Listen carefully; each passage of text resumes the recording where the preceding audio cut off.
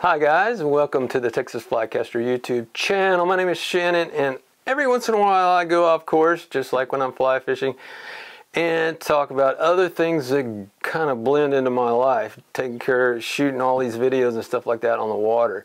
The good folks at Insta360 were kind enough to send me a camera this year, uh, just at the end of last year, to um, try and see how it's going to work out in the fishing and fly fishing videography side of things. Of course, I'm the team of one for doing all three things. and uh, so I got this camera. It was really great. You saw the unboxing. That link is down in the and the uh, information down in the uh, description. And now I've gotten to use it a little bit, although not fishing because it's winter time. We've got a couple months before we really kick in with uh, the uh, spring fishing and summer fishing here in Texas. But I've already come across a couple quirks and been told about a few quirks, so that's what we're going to talk about today. Uh, I call it the Insta Ace Pro, not the Insta 360 Ace Pro. Um, this Insta 360 company. Uh, and but it's a really it's a fantastic camera and here's why I think it's a it's virtually a GoPro killer the Leica lens if you've been in the photography business as long as I have then you can recognize a lens that has better contrast and better clarity uh, side by side this beats I can with a naked eye and I can see that with the Ace Pro compared to GoPro so that is the first thing. The second thing is no overheating uh, per se. Uh, it takes hours and hours and hours overheat and if you have a special need like that then you need to set everything up like in my previous video about stopping overheating in GoPros. It's in, that link is down in the description as well. So that's what's going on. Let me just run you down on a couple of these things that are going on and then we'll take it from there. Okay guys, let's get a look at this. Now, we're looking at the Insta 360 Ace Pro, or what I call the Ace Pro, because it is an Ace, and it is a Pro, as in GoPro No. So, let's take a look at one of the quirks. One of the quirks is, on the bottom, the accessory mount if you get this accessory mount right here and it has another little piece right over here quarter 120 and it has a flip out um, wings for adapting to all the GoPro mounts out there. If you get this and click it in put it on the right way and all that what you're gonna find is that when you hook this up to a selfie stick and you're you're not having any hands on it it's just mounted just like this right here on the selfie stick, it's gonna put an audio rattle in there. This thing has, it's really well done, really nice, but it's got a little rattle to it that the audio just zeroes in on and it goes straight into audio. It's random because you're walking or moving randomly. And so what you wanna do is go back, okay? Go back to the original mount that actually comes with it. I'm gonna show you a, a fix for this that I think will work in another video. Okay, here we go. This little mount that comes with it is also a little bit quirky, and I'll tell you why. You can put this mount on here, and it, you think you're in, you think you've got it, right? I'm not pushing the buttons. So here's what you got to do. This is critical, man, especially around the water. You take it, you hold it like this, and you press hard like that right there. You can, I heard a click, so you can press hard like that. And the mount, ooh, still a little loose. Okay, so be careful with this. Be very careful with this mount. I'd say press it against some hard surface like I heard it click that time.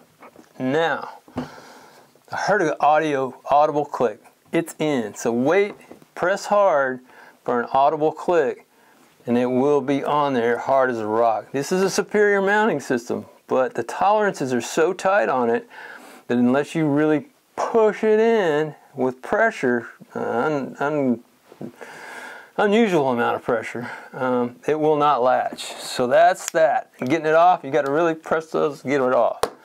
Next thing I want to tell you about is it's got it's got one of those accessories you can add on from Insta 360, the kind of an L-shaped bracket.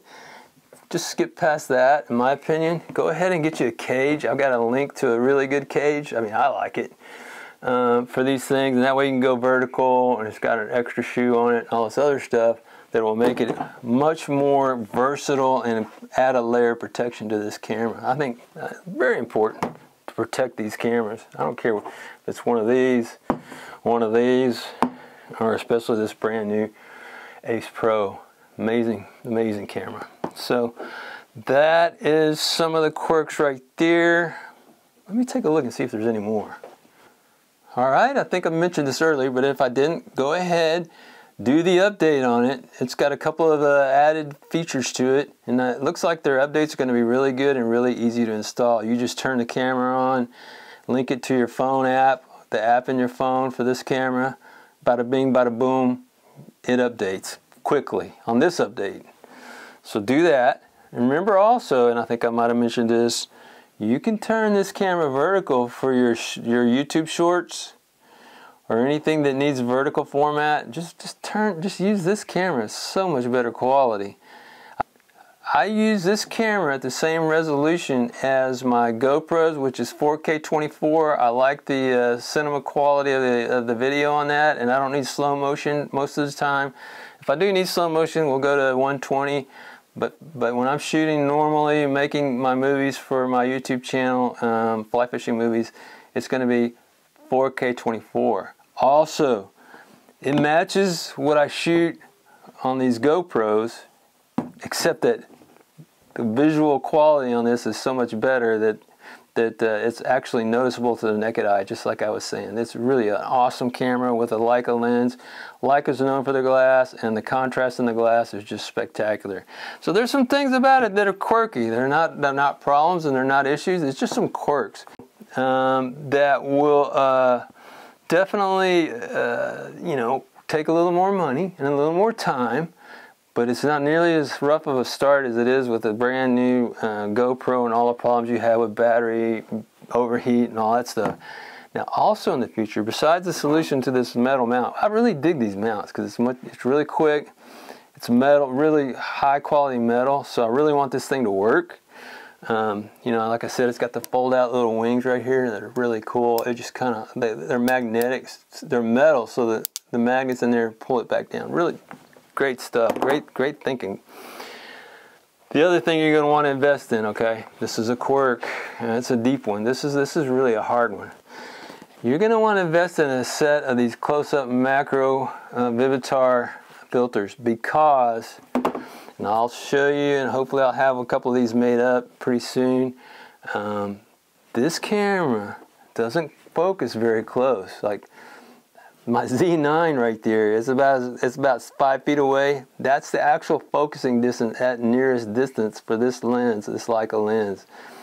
Do you think that's a problem? It's a problem. So what, what I've seen is these uh, these adapters that are made uh, that fit on this that'll hold a 52 millimeter um, close-up lenses and everything in in the near area, the near focus will be good. Of course, what that does is bokeh out the the background. So, you know, if you like bokeh or bokeh, um, you're going to get some uh, with that add-on and we'll show you how the, that all works in a future video. Thanks for watching guys. Man, it's taking me a long time to get this out. I'm super uncomfortable in my setting in here in my uh, so-called studio and that's why it's taking so long. I usually shoot outside on my bar, but the weather sucked for a number of days now. Thanks for watching. Like and subscribe. Remember to uh, check out this camera and start getting ready for the spring and summer fishing and fly fishing season. Insta Ace Pro. Great camera, people. This is a great start right here. If you haven't, if you don't have an action camera for fishing, skip. I'm so deeply invested in GoPros. If you don't have all that, start here.